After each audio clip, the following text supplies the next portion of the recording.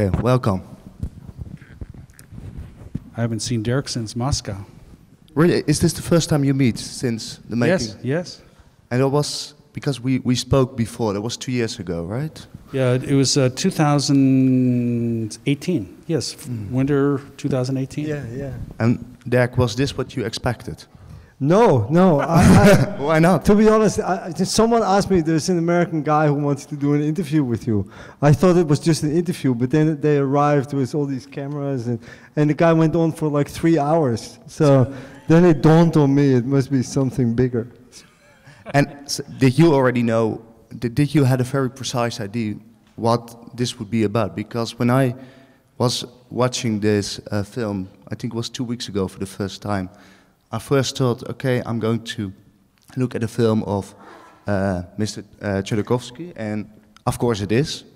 But then later I realized that it's a beautiful story of modern Russia, post-Soviet Russia. And that made me wonder, forgive me, I'm a journalist, so I write stories as well. It made me wonder, was it your idea to make a story about Russia? And did you find a protagonist, or did you find him, followed him, and discovered, I made a story about modern Russia? All of the above.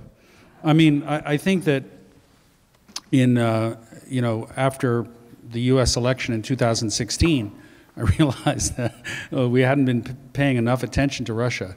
And, and so I, I was interested in doing a story about Russia.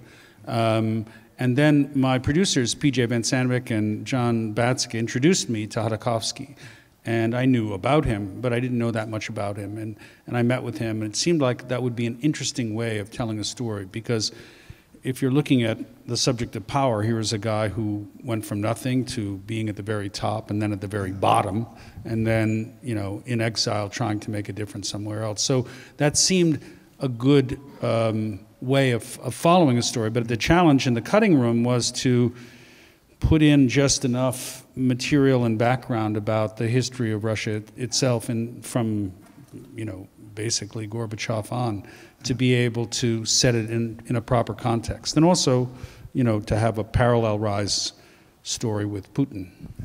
Because there was um, one of the other things, and I know that some people from the IDFA organization, we were discussing the film, and we were all wondering, should I sympathize with this man? Is he something I should feel sorry for, um, or the other way around? And um, did you have this question as well during this first meeting, or did this question grow on you? Did you even struggle with this question? I did struggle with that question, and it, it was the same question I asked. I mean, here's a guy who, well, he just got another hundred million out of um, Ireland, and he's he had another four stashed away. I mean, and he had been worth 12 billion. Is this a guy we should sympathize with? At the same time, you know, um, he had been a powerful voice in terms of um, advocating for change inside Russia while he was in a prison cell. And I'd read his writings, and they were very perceptive and powerful. So, what do you reckon? How do you reckon with that? And I thought that that's what makes him an interesting character is that you don't know. And and I think for, for half the film, I I mean, it's interesting. You know, I've, I've gotten some feedback from Russia, and um, those in the Kremlin who have seen it, you know, love the first half and hate the second. half. Yeah. Khodorkovsky feels just the opposite. Yeah. Can imagine. How was that for you, Derk? Yeah, what you know, what I particularly liked about this film, I've seen many films about Putin made by Western journalists, and most all of them are very black and white. I mean, Putin is just a bad guy, and the opposition are the good guys. Um, I think this is one of the first movies I saw that puts it in a better perspective. Good and bad in those days was extremely hard to distinguish from each other. And, you know, uh, was a very powerful and smart man. Putin is also a very powerful and smart man. Only their paths of lives, you know, went completely the other direction. Um, and that makes it so interesting because, you know, uh, Khodorkovsky comes from the same age, same generation as Putin. They have the same background. They, you know, both come from the Komsomol. Uh, uh, so they have actually the way, the same way of looking at life. Only Khodorkovsky ended up, you know, on the wrong side of the track, so to speak, you know. Um, and by by his jail, he became a martyr. You know, the way he behaved in jail, in the, in the gulag, because it was a gulag, really changed him and, and also the perception of him to the Russian public. Yeah, we've seen that at first the people uh, protest against him and then they cheer for him. That's the, and before, because that's also something I'd like to discuss, but before uh, doing that, you already told us about your first meeting with him. We briefly saw your first meeting with him, or we didn't see it. You, you, you, you told us about it, and you said it was hard to distinguish between good and bad. Why there were seven oligarchs to choose from? Why did you pick him? Why did you want to cooperate Yeah, with him? Because he was what, what is called in Russia skromny. He was the most modest of all these guys. You, I mean, the other guys from day one, they had the golden watches, the big cars, the villas, the yachts. And he was not interested in that. He's never been interested in that. And that really set him so much aside from the other, other oligarchs. And as he said, he was interested in the process. He really loved building a first class you know, company. That is what he was doing. He wasn't partying. You know, he didn't have. He's been with his wife all his life. All these oligarchs had, you know, girlfriends and hookers and you know what have you. Uh, he was a he, you know, he was actually a nice guy. But I must add to that that around him, he had some very very tough people. And you know, uh, uh, you know, and I cannot vouch for what happened. I've been threatened by some of his close friends. Uh, Lebedev, who was in the film, uh, threatened me several occasions when we at the Moscow Times wrote about you know, all the things they were doing. You know how they were screwing minority shareholders in their company. So, but he always behaved very nice. So, so, so, yeah, yeah, we just heard. But how did, did did you, were you able to call him and say, hey, one of your employees is threatening me? How does, how does that go? Yeah, I did. Um, of course I did. You know, I didn't like it. And, you know, that's one of the things that comes also out of this film. This is what Khodorkovsky said. The only way you can survive in Russia is to be tough because they just try you out. If you give in, uh, then you're done. So I, I behaved the same way with Khodorkovsky, and it worked. And how, um, because I think that's also a question that many of us will have, is how can a man who's so uh, incredibly intelligent, who immediately saw the potential during the 90s, um, and of course, oh, there are lots of answers in the film, but still, why did he make the decision to take that extra risk? Was it um, because I think the idealism came later in prison, right? Was what was the Well, I mean, he had a different. Um, I mean, it's still the mystery that hangs over the film. Why did he take that extra risk? And he says, "Look, I wasn't going to trade. Um, you know, I, my life didn't mean that much for exchanging it for self-respect. And he was a tough guy, and so I think there was a certain macho element there. I think there was a certain calculation, like I'm pretty powerful. There's, you know, he, eh, eh, the worst thing he thought was going to happen to him was that he might spend a year in jail, right? But also, I think at that time, in the early 2000s, he began to have different kinds of political aspirations and was chafing under the idea that he was supposed to just stick to business.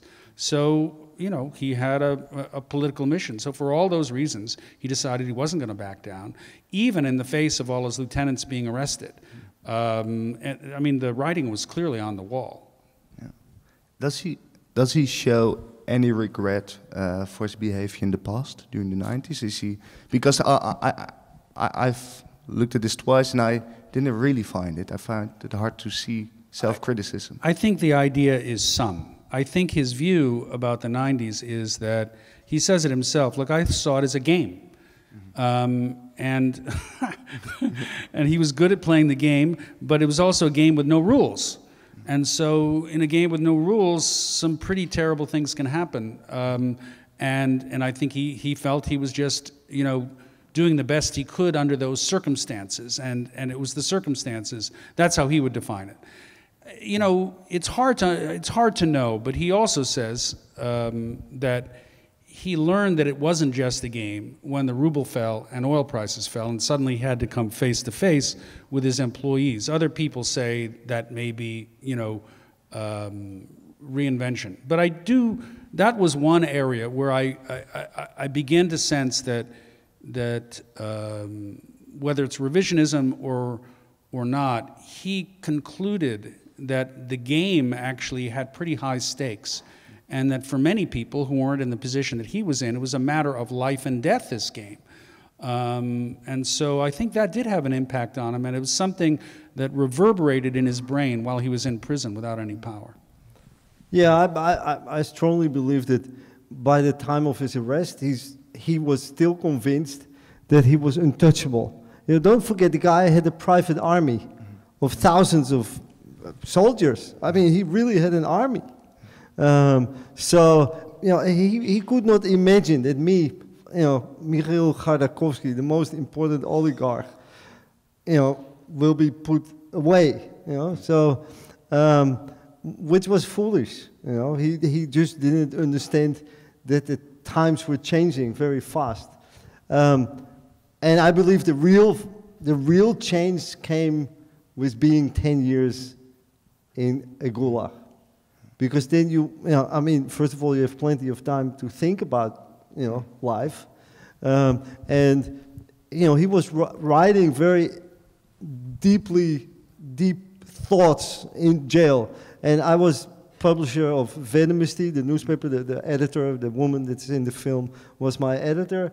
And he sent a lot of those letters to our newspaper. We've been publishing a lot of his writings. And in those, you know, you could see the development in, and he was, you know, he, as he was in jail, he was thinking about his future role. Yeah, so he says things. I mean, you know, it's hard to, um, when you have somebody who's writing from prison, that he came to the realization that life is not about having, it's about being. That's a pretty profound thought for, for an oligarch, you know, who, who you know, and, and as Derk says, you know, most of the other oligarchs were into Ferraris and hookers. You know, you, you wouldn't see most of them coming up with that kind of statement, or I'm not an ideal man, but I'm a man of ideals. You know, this is this is somebody who gave a great deal of thought to what his position in society was and how society should be structured, and even more profoundly, what it means to be a human being. Uh, I think he learned that in prison. I mean, Tatyana Lysova says, you know, I, it's, a hard thing to say, but I think he became a better man in prison. Well, what's his biggest mistake? What's the could he have prevented this in some way? You mean could he have prevented going to prison? Yes, exactly. Yes. Not on the trajectory he was on, but um, I mean, he he could have seen it coming. He should have seen it coming. Lebedev goes to prison. Um, you know, Nevzlin flees the country. Um, it, it, should have been obvious to him. And, and, and let's not forget that today there are tens of thousands, if not hundreds of thousands, of business people in Russia in jail uh, on cooked up charges. You know, this is, you know, this is what is continuing. You know, Mike Calvey, you know, Russia's most famous investor, uh, he's under house arrest. He's a foreigner, so he's lucky he's under house arrest. But three of his directors have been in jail now for, for more than a year. It's going on and on and on. Yeah, that's also something because uh, we saw the Olympic Games, and there was a moment that he was being freed, um, uh, also to make a gest, uh, gesture towards the West. And then I had the same, I had the same thought. There are so many people in prison, and of course they released more. But why was the West uh, sort of lobbying for him because we see some uh, diplomatic lobbying on his behalf. Did, did you find any of that, or did you? Look, I, I think he had, he had become famous. He had become famous both because he, you know, before he was put in prison, he was a guy who was negotiating, um, you know, a, a merger with with Exxon. You know, so his he was uh, people were aware, well aware of him in in the corridors of power in the West. Um, but I think, you know, through his time in prison, his, um, uh, his stature increased to a great extent. So it, be, it became an easy way of focusing on one person as a way of saying, oh, yeah, you say you're so free and open, but what about Khodorkovsky? Though, I mean, I think it's not a coincidence that that, that Putin decided to release Pussy Riot and Khodorkovsky on the same day. Yeah. Uh, what actually is so interesting, so Putin decides to release those two people, um, and then there is there are these crazy people in the West who start about the gay issue. You know, remember that Yes, the, yes. The, uh, the, the anti-gay law. Yeah, with the mayor here standing up So, for them. so and and most Western uh, leaders decide not to go to the Olympics. He just released Khodorkovsky and Pussy Riot.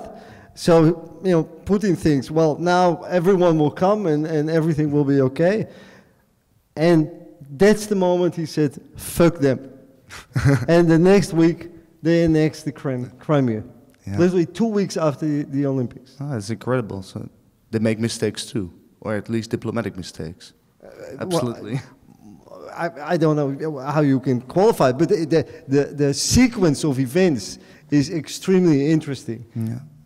And uh, because you end, one of the conclusions towards the end is that um, this country, let's say both political sides have a problem with uh, nostalgia. And, um, and to sell liberalism now with his face on, is it, is it possible? Because, um, and I think you both know Russian society better, but he, his image has changed. We have followed that, but won't he be sort of a business card for the kind of liberalism we have seen in the 90s? Is it, is it useful what he's doing? Look, I think that, um, I mean, um, Derk says it and Igor Malashenko says it. I think his ability to become an in person political figure in Russia is, is it's not happening, it's not possible, both because of his past. And also because he's not permitted to, to go there uh, or to even appear on television. So I think, at least uh, for the moment, he has satisfied himself with a kind of um, role of support, you know, either by doing investigations or helping investigations or by supporting other figures like Navalny and others. But the idea of returning there, I think he, he's dying to go back, but there's no way it's going to happen. Yeah, I mean, Russians are very bad in exile. You know, Russians always long back to the home country. So he's, he's just, he's the typical Russian exile who only thinks day and night about Russia, you know, and, and returning. Um, but having said that, you know, his foundation is doing a lot of good stuff. Uh, that is not very sexy, not very visible, but they support small local journalists, small initiatives, uh, civil society groups. We at the Moscow Times work very closely with, with some of their reporters. And um, so, you know, I, I applaud what he's doing now. But the thought that he can ever be an influential figure again, you know, as uh, Alex said, that's, that's not going to happen. That's and and you clearly say I applaud him for what he is doing, and he is doing wonderful things. When uh, you of course portray this side of him, uh, and also add the analysis or the conclusion to that that sometimes it doesn't have that much effect. They don't even have enough glue to glue the things on the wall, and they um, or, or is that a mistake on my side? Well, but, but I, I, it's both quixotic and, and also real and important at the same time.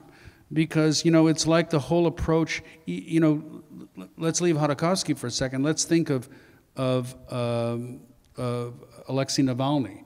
You know, so he's not going to boycott, so he's calling for a voting strike. Now, what's the difference between a boycott and strike? But they're trying to find some way of protesting the phony democracy, election theater, while at the same time not giving up on it, because if you give up on it, then, you know, um, authoritarian um, powers win, right? So, how do you do that? And it becomes a kind of very tricky and difficult uh, road to navigate. And so, I think that, you know, uh, you have to try, and, and I, I'm with Derk. I give Khodorkovsky great credit for trying and trying to engage in some way, even though the idea is absurd. He, he makes a big deal out of going to Hanover to vote, and then he ruins his ballot, right? Yes. Um, yeah, and, and doesn't even support the opposition candidate that he is supporting financially or. Uh, That that surprised me. So he's funding her, right? Or he's helping yeah, but her. I mean, he also knows. He also knows very well that this was a, a fake, total game. Yes. Uh, theater, you know, I- nonsense. It's one of I the. think that Sobchak, I, I, I don't, I can't prove it, but I'm fairly certain that Sobchak's campaign was actually supported by the Kremlin. She is the loyal opposition. Yes. You know, but at the same time, Uh, Khodorkovsky. Ksenia now has a show on the first channel. Right. Um, Yes. And the first channel is the, the official It's a- state propaganda channel. So here you have it. And you already said it that there are there, there are some mysteries surrounding him, and why is he then still sort of supporting the theater? That's that's Su- supporting election theater, but but I think the, the- you're not you don't support. I, I'll let Derk pick it up. I mean, you know, but it's not supporting the theater. It's just continuing to try to keep alive debate about civil society. I think that's what it's about. And so even in the theater, like when you go to the theater, you realize it's a fiction, but actually there's some meaningful things can happen in theater, right? And um, you know, so Yeah. so so I think that's the reason. It seems absurd, but at the same time, I think it's terribly important. it's a- adding a liberal actor to the to the stage. Yes. Okay. And Yeah, I think he, he sort of wants to support all the voices that are not, you know, 100% Kremlin voices. But I think much more important than that, and that is what's not so much in the film because it's all a little bit hidden and they don't publicize it a lot because, you know, it, it endangers the lives of those people uh, that he's supporting in the regions, especially local journalists uh, local bloggers and so on. It's you know you have no idea how dangerous it is to be an independent journalist in a small town somewhere in Russia these days. So and you know uh, if he can support it, you know, bless him. And and by the way, th- this dossier program that is mentioned in the film, Yes. I mean, information gained from dossier, and they have really good sources, um, feeds a lot of journalism worldwide about Russia. So it, it, it, it acts as an important avenue for understanding what's actually going on inside the country. and when I was again watching this film for the first time, I was wondering what is his uh, what is his stake? Why did he decide to cooperate? And then of course, probably because he knew I'm doing all those amazing things. I like to tell what I'm doing. Does he has he protested uh, to you that you were also dedicating the first half an hour to his history and how he came so he became so rich? You know, he's an interesting character that way. I sat next to him at the premiere of the film at the Venice Film Festival. And when you sit, sit, next to somebody and a film is critical about that subject, it's extremely uncomfortable. I, I felt uncomfortable. But, you know, at the end of the day, for him, it's like, well, that's your job. You're going to do what you're going to do. And um, there's nothing I can do to control it. And maybe there's some things I don't like, but so what? It's your film, which I found hugely refreshing. I, there's a, um, you know, there's another, there are a couple of other characters who are interested in having their stories told, but they're far more controlling. And as a result, their stories haven't been told so far. Khodorkovsky was like, ask whatever questions you were going to ask. He didn't decline to answer any of them. In that way, I, I found him a very compelling character. It's like, okay, I've agreed to participate, I'll give you a lot of time, and then you do what you do. Well, that's impressive. Yeah, it's that. That's not a mystery. Um, this man is constantly smiling. He's constantly calm. He's constantly. Sometimes there is a bit of this modest macho character. Is he never a truly emotional? That he flips. That he becomes fearful. That he, I don't know, becomes Uh, sad. I, I've been in many, many meetings with the guy because in the very early beginnings, um, you have to understand Russia was, you know, they, they, he also knew nothing about capitalism or, and I was involved in choosing the logo of Yukos.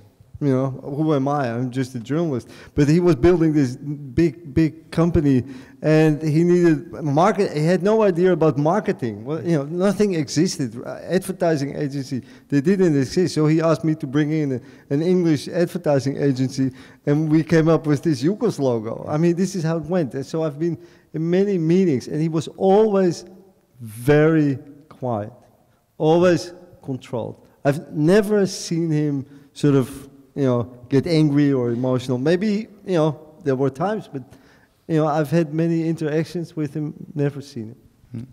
I, I, I feel exactly the same way. There was a, there was a small moment, not off camera, not on camera, when I, when I saw him getting ready for this, um, uh, this, this sort of get together that we photographed where he was presenting, you know, some of his activities and, and somebody had done something wrong. And you could see the flash of the oligarch, you know, upset that, that, that his instructions hadn't been followed to the letter. But that said, is very difficult.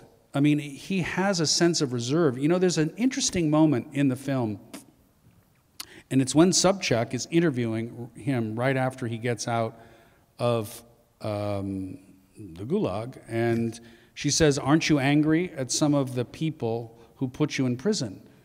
And he says, This is amazing. He says, it would be a sin against the truth Yes, to say quote. that I don't have some feelings about the matter. Now, that's not Oprah. that's not laying it on the line. But at the same time, if you watch carefully, you can see his eyes roll back in his head as if he's trying to keep the steam from coming out of his ears. So, this is a guy who's got anger. He's got deep anger, but he is in control a lot of the time, and you don't see him blow. Uh, But, but, but what I, I think it's important to say uh, to now that the director is here. What what I really like in the film that it comes across also that Putin also had few chances, and few options uh, differently than what he did. You know because uh, you know you cannot have an oligarch run the ministry of the economy. You know it, it's just if Putin. Uh, uh, wanted to establish himself as the real president,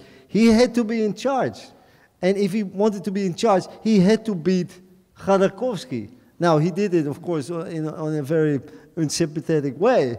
Um, and the trials were a joke, especially the second trial. It was very well shown. Um, but I mean, what else could Putin do? I think I absolutely agree, and because I think I have to finish off, it's really what makes the film wonderful is that you see Putin. I, indeed, one of it's one of the few times I've seen Putin in a way that I thought, yeah, okay. The other guy got what he deserved, and, and you are doing something for your country. But that's um, so yeah, that's. Uh, I think I also um, um, appreciated Putin more as a politician. You know, politicians are designed to make people feel good and to feel something.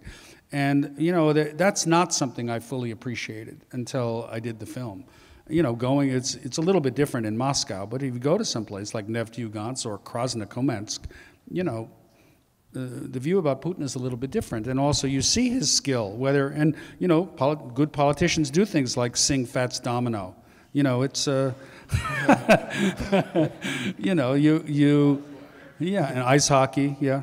So um, he, he, it's intriguing. I mean, he's not the guy who's walled away in the castle. He's, he's, uh, he's got the grease paint. You, you would be able to know, though, I'm, I'm amused to, to learn, and this was something I was told by um, some of the folks at, uh, at Open Russia, that they've done face, somebody did with face recognition software.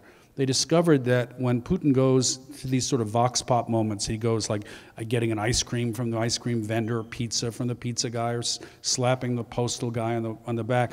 That if you do facial recognition software, you discover that those people in those scenes, there's about, actually about eight or ten Yeah, of the yeah, same they people. actors. They're actors. They have yes. actors. that's, Amazing. that's absolutely right. Uh, uh, but, but but still, I mean, p- p- a lot of Putin films I've seen, they don't recognize the the reality that Putin just was was and still to a large extent is, although it's less now, but still is an incredibly popular leader. You know, and and I think in the West, many people close just close their eyes. They only see the bad part of Putin. Um, and this film is, is, is makes it very clear why he came on this path. Now, of course, like every leader who stays too long, it goes off the rails. You know, and it's and it has nothing to do with Putin as a person. It has to do with if you're 18 years in such a powerful position, uncontrolled, no media controlling you, no independent law, uh, legal system, you know, then, you know, even the best of human beings turn into very nasty people. Yes.